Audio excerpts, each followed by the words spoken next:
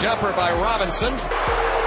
Oh, the big dog is off to a six-point start, and he simply outworked every warrior on the court. Robinson is in the zone. Shot from the corner is good. Robinson turning, shooting good. Here's Robinson loping into traffic, spinning. The one-hand runner is good for Glenn Robinson. Robinson at the foul line, spins away from the double team. Good down the well for Glenn Robinson. Back off that one-game suspension. He is smoking right now. Robinson drills it again from the corner. But season high for points has been 117. Robinson up again. Jumper goes. Fresh legs today. Robinson almost got a steal. Goes sailing over the Bucks bench. Glenn's career high has been 44. He shoots it, he hits it, and he stays in the hot zone. They practice all the time and put in a lot of work. Robinson, hook shot goes in. In the paint. 42 for the big dog.